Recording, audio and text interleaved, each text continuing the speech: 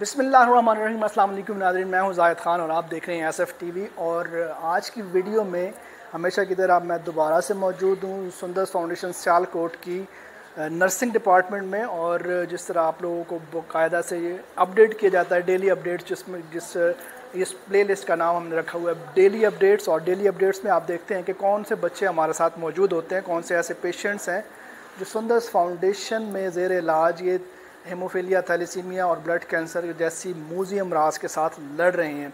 तो इन वीडियोस का, ये इन बातों का बताने का मैं फिर यही कहूँगा कि मकसद सिर्फ़ और सिर्फ़ ये है कि वो दर्द, वो वो पेन वो एहसास, वो जज्बात जो ये माएँ एहसास करती हैं, महसूस करती हैं अपनी डेली लाइफ में कि डेफ़िनेटली हम सब जानते हैं कि हम, हमारी जो औलाद होती है वो हम, हमें कितनी प्यारी होती है और हम उसके बारे में किस तरह के जज्बात रखते हैं। मैं यहाँ पे आज एक और बात सोच रहा था कि जब इंसान की कोई ज़िंदगी में एक मायूसी होती है फॉर एग्ज़ाम्पल अगर मैं अपनी बात करूँ तो वो चीज़ें जो मुझसे रह गई हैं, मैं मैं वो चीज़ें अचीव नहीं कर सका।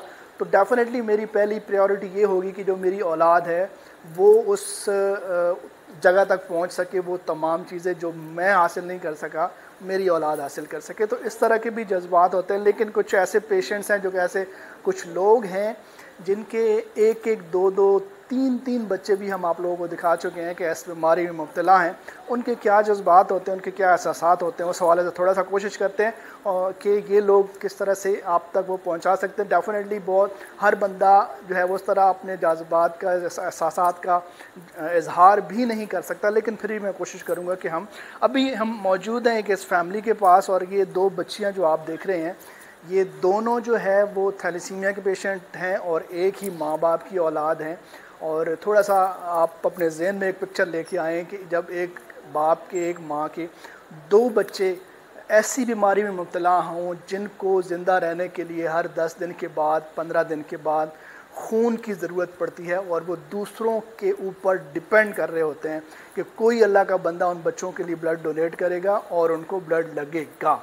और ये सिलसिला ऐसा भी नहीं है कि एक दिन का काम हो, दो दिन का काम हो या दस दिन का काम हो, महीने का, साल का, दस साल का नहीं ये सारी ज़िंदगी इन बच्चों को जो है वो ये ब्लड लगना होता है और जब से ये बच्चे पैदा होते हैं और जब से इनको इनके माँ बाप को इस बात का पता चलता है तब से इनका ये सफ़र शुरू हो जाता है और वो ब्लड के ऊपर डिपेंडेंट होते हैं। तो हमारे साथ मौजूद हैं दो बच्चियाँ। पहले तो हम इनसे बात करने की कोशिश करते हैं। क्या नाम है बेटा आपका? इसमा। स्कूल जाती हो आप? कौन सी क्लास में पढ़ती हो? फोर। क्लास में पढ़ती हो। अच्छा आप कुछ याद है कब से आपको ब्लड लग रहा है? बारह साल से लग रहा है। और कितनी देर बाद लगता है आपको? हर पंद्रह दिन के बाद लगता है। तो सोई जब लगती है तो दर्द होती है? अच्छा ये बताओ कि जब ब्लड लगने वाला होता है आपको जहाँ जब यहाँ पे आती हो तो क्या महसूस कर रही होती हो आप? क्या मसला होता है आपको? बुखार होता है या कुछ दर्द होता है? क्या होता है। जिसम में दर्द होता है। अच्छा फिर जब खून लगता है तो फिर आप ठीक हो जाती हो। जी नाजरीन इस तरह की और भी हमारे साथ इस तरह इसकी एक और बच्ची है और हमारे साथ इनकी वालदा मौजूद है हम उनसे ही बात करते हैं। अस्सलाम वालेकुम। अच्छा पहले तो ये बताएँ कि ये दोनों बच्चियाँ जो हैं वो आपकी हैं? हाँ अच्छा और कब से इनको ब्लड लग रहा है? ये छः माह के लगन लगा सी। बारह साल की हो गई। सात साल की हो गई। सात साल की हो गई। अच्छा जब पहले थोड़ा सा ये बताइएगा मैं ये अब पहले ही बात कर रहा था कि हम वो तमाम चीज़ें इन लोगों तक पहुंचाना चाहते हैं जो इन इन बीमारियों के हवाले से नहीं जानते हैं या उनको इस बात का पता नहीं है। आपको जब पहली दफ़ा पता चला कि आपकी असमा जो है वो बीमार है उसको अब इसको सारी ज़िंदगी ब्लड लगेगा हाँ तो क्या क्या एहसास थे क्या जज्बात थे? बड़ा दुख बड़ी तकलीफ़ हुई सी। हम्म। तो बड़ी मेहरबानी सुंदर प्लेशन की जी कि पंद्रह दिन बाद हम हमारे बच्चे को ब्लड देती है। हम्म। और अपने जने ना वो भी मुँह मोड़ जाते हैं। वो भी नहीं ब्लड देते अच्छा असमा के बाद दूसरी जब आपकी बच्ची हुई कितनी देर बाद ये पैदा हुई? पाँच साल बाद। पाँच साल बाद। तो एक बच्ची तो ऑलरेडी थी। दूसरी बच्ची भी जब इस बीमारी में मुबतला हुई तो फिर क्या जज्बा फिर भी बड़ी तकलीफ़ हुई बड़ा दुख लगा अल्लाह दो बेटियाँ थी दो ही बीमार हैं।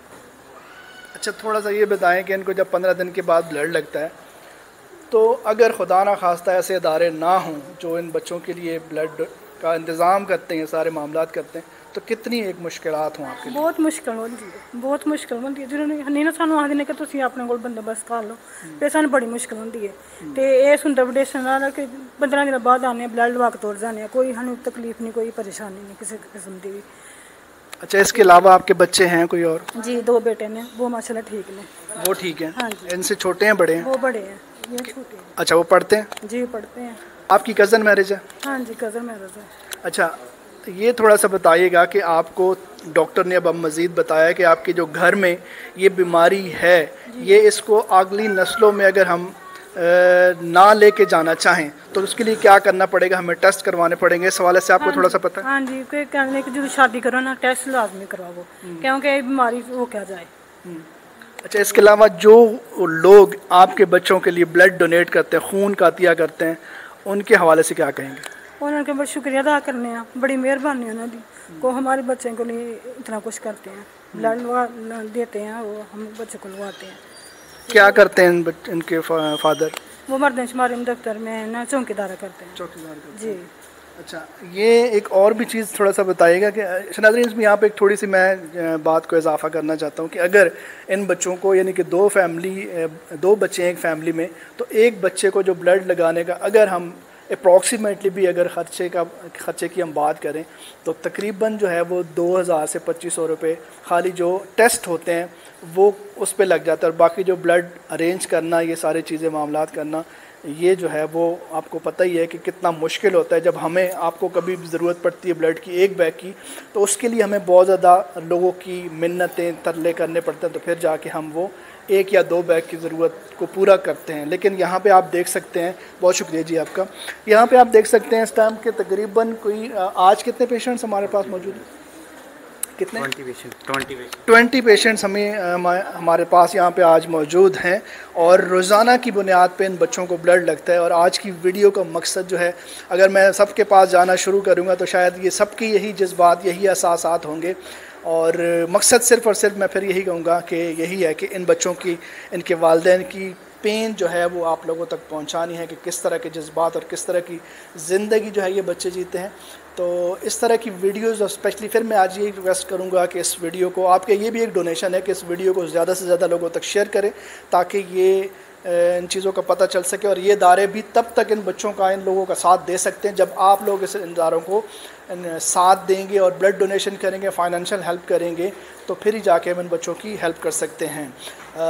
इस वीडियो को ज़्यादा ज़्यादा शेयर करें, हमारे चैनल यूट्यूब को सब्सक्राइब करें और फेसबुक पे इंस्टाग्राम पे टिकटॉक पे हमारे अकाउंट्स हैं और उनको सिर्फ़ और सिर्फ़ इसलिए लाइक करें फॉलो करें ताकि ये जो मैसेज है हम लोगों तक पहुँचा सकें। बहुत शुक्रिया।